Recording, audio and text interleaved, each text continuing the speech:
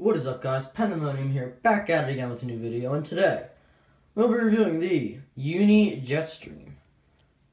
So um, here we have the Uni Jetstream, um, pretty nice pen, uh, got blue casing all around it, um, really good grip.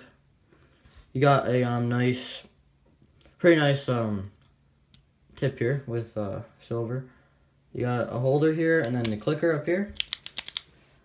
And uh, yeah, that's about it for that. Um, now I can try writing with it. Just gonna write pandemonium, like usual.